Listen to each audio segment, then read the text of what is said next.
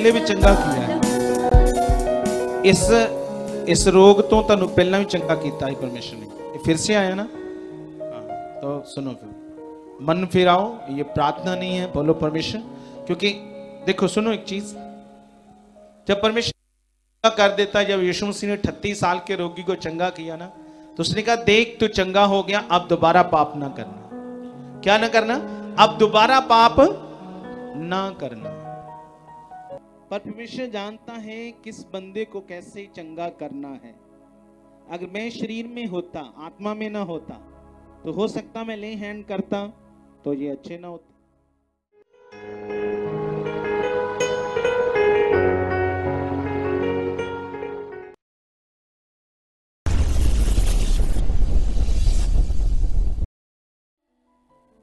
Brother जी का नाम अवतार है और से अपताल गाँव के रहने वाले हैं और इनकी गवाही जे जे बता रहे कि एक महीना हो गया था। इनके लेफ़्ट साइड के खब्बे साइड के चूल्हे में बहुत ज़्यादा दर्द रहती थी, जिसके कारण जी काफ़ी तकलीफ़ में थे। जे बता रहे कि इनको काम करने में भी बहुत ही प्रॉब्लम आ गई थी और जे बता रहे हैं कि जब भी जे प्रार्थना में बैठते थे, इनसे बैठा नहीं जाता था। इन्होंने मेडिसिन भी खाई पर इन्हें कोई फ़र्क नहीं पड़ रहा था और जे काफ़ी परेशान थे और जे बता रहे कि जैसे ही, क्योंकि जब इन्होंने ऐसे प्रेयर टावर में कॉल की और इन्होंने बताया कि जे काफ़ी परेशान है और जे, जब जे 16 अप्रैल की मीटिंग में आए तो उन्होंने फॉर्म फिल कराया था और अपनी प्रॉब्लम के लिए। तो जैसे इनके लिए प्रार्थना, जब लेन के लिए प्रेयर करने लगे परमेश्वर के दास तो परमेश्वर ने अपने दास को अगुवाई की, क्योंकि एक महीना हो गया था जिस शक्ति पर नहीं आ रहे थे। और जैसे ही परमेश्वर के दास को परमेश्वर ने अगुवाई की कि जैसे आज आप अपना मन फिराएं तो पहले हम इस वीडियो को देखेंगे ਪਹਿਲੇ ਵੀ ਚੰਗਾ ਕੀਤਾ ਹੈ ਇਸ ਇਸ ਰੋਗ ਤੋਂ ਤੁਹਾਨੂੰ ਪਹਿਲਾਂ ਵੀ ਚੰਗਾ ਕੀਤਾ ਹੈ ਪਰਮੇਸ਼ਰ ਨੇ ये फिर से आया ना हाँ, तो सुनो फिर मन फिराओ ये प्रार्थना नहीं है बोलो परमेश्वर क्योंकि देखो सुनो एक चीज जब परमेश्वर चंगा चंगा कर देता जब यीशु मसीह ने अठत्तीस साल के रोगी को चंगा किया ना तो उसने कहा देख तू चंगा हो गया अब दोबारा पाप ना करना। क्या ना करना? अब दोबारा पाप ना करना। अपने हाथों को उठा उठाओ और बोलो परमेश्वर माइक उनके आगे रखो बोलो परमेश्वर मुझे माफ़ कर।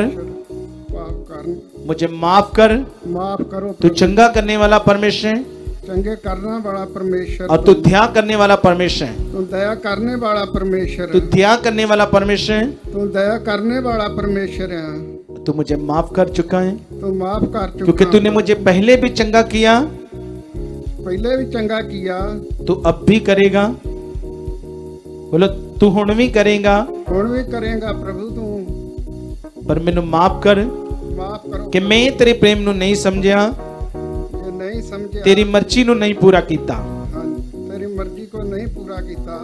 ਮੈਂ ਜਦੋਂ ਟਾਈਮ ਲੱਗਿਆ ਤੇ ਤਦੋਂ ਤੇਰੀ ਹਜ਼ੂਰੀ ਚ ਆਇਆ। ਜਦੋਂ ਟਾਈਮ ਲੱਗਿਆ ਤੇਰੀ ਜੂਰੀ ਚ ਆਉਂ। ਪਰ ਮੈਂ ਅੱਗੇ ਤੋਂ ਇਦਾਂ ਨਹੀਂ ਕਰਾਂਗਾ। ਅੱਗੇ ਤੋਂ ਇਦਾਂ ਨਹੀਂ ਕਰ ਜਿਵੇਂ ਤੁਹਾਡੇ ਵਚਨ ਚ ਲਿਖਿਆ। ਜੋ ਤੁਹਾਡੇ ਵਚਨ ਚ ਲਿਖਿਆ। 6 ਦਿਨ ਕੰਮ ਕਰੋ। 6 ਦਿਨ ਕੰਮ ਕਰੋ। ਤੇ 7ਵੇਂ ਦਿਨ 7ਵੇਂ ਦਿਨ। ਪਰਮੇਸ਼ਰ ਦੇ ਘਰ ਵਿੱਚ ਗੁਜ਼ਾਰੋ।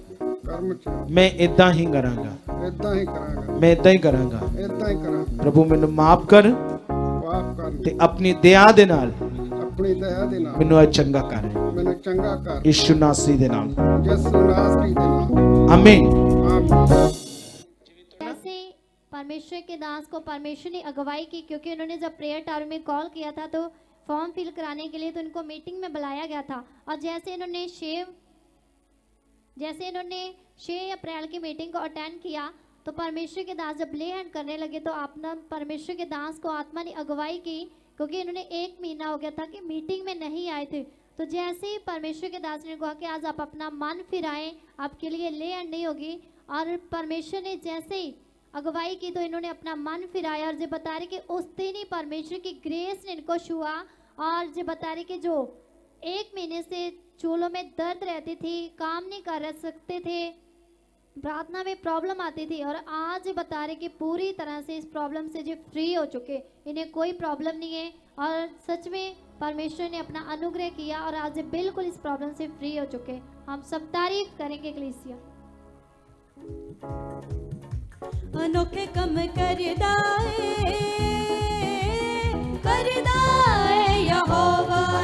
कम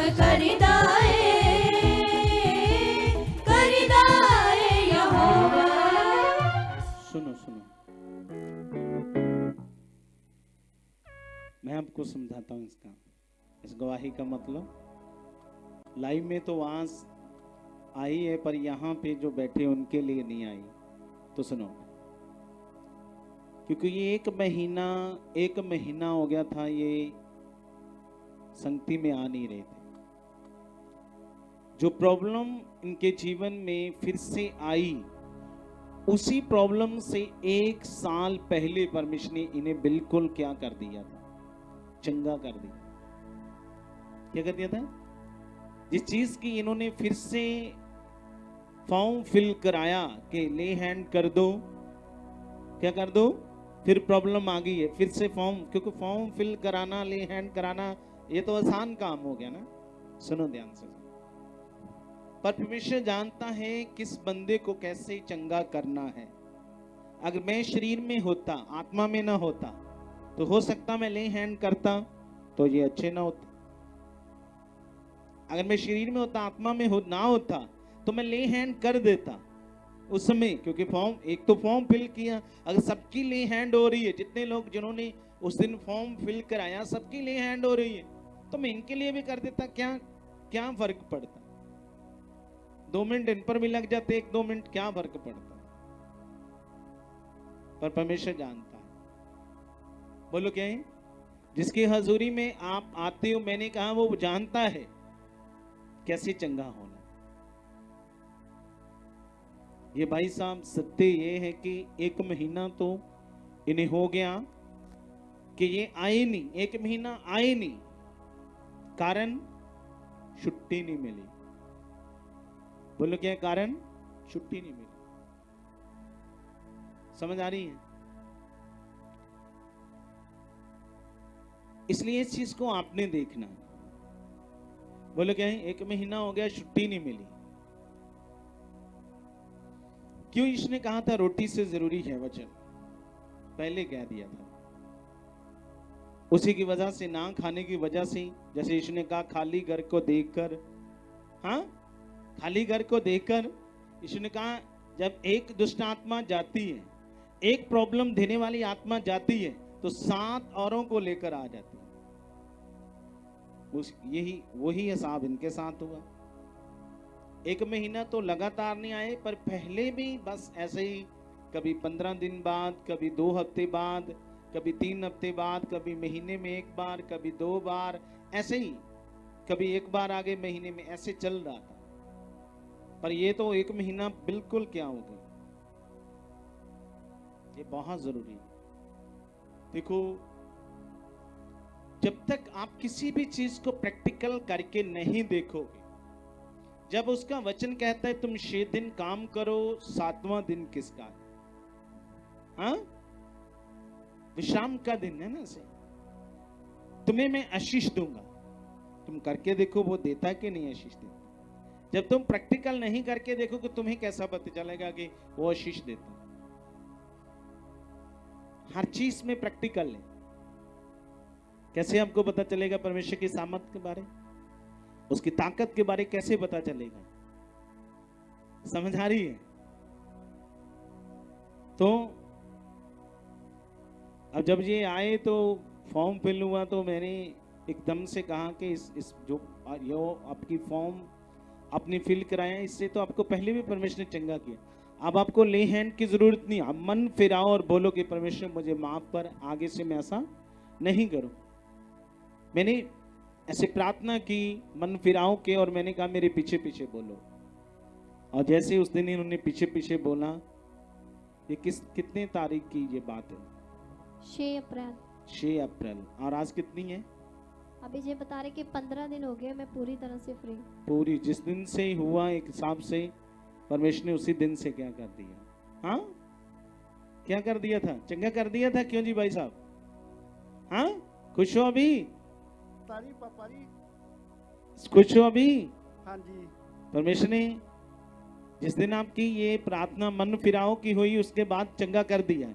अब पंद्रह दिनों की कोई प्रॉब्लम नहीं आप भले चंगे हो ਹਾਂਜੀ ਚੰਗਾ ਹੋ ਗਿਆ ਜੀ और सुनो अब दोबारा ये गलती नहीं करना ਠੀਕ ਹੈ ਜੀ ਨਹੀਂ ਕਰਦੇ ਪਾਪਾ ਜੀ ठीक है ਪਾਪਾ ਜੀ ਨੂੰ ਠੇਕੇਦਾਰ ਛੁੱਟੀ ਨਹੀਂ ਜੇ ਦਿੰਦੇ ਉਹ ਆਉਣ ਦੀ ਤਾਂ ਕੋਈ ਗੱਲ ਨਹੀਂ ਬਾਕੀ ਦੂਜਾ ਪਰਿਵਾਰ ਹੁੰਦਾ ਹੀ ਆ कोई नहीं खुदावन देखो जैसे हम हर बंदा अपने अपने पेट के लिए रोटी खाता है ना खाता है कि नहीं खाता तो इसी तरह से वचन में लिखा जो बातें कठिन है जो बड़ी लगती हैं उसके लिए परमेश्वर ने कहा मुझसे प्रार्थना करो।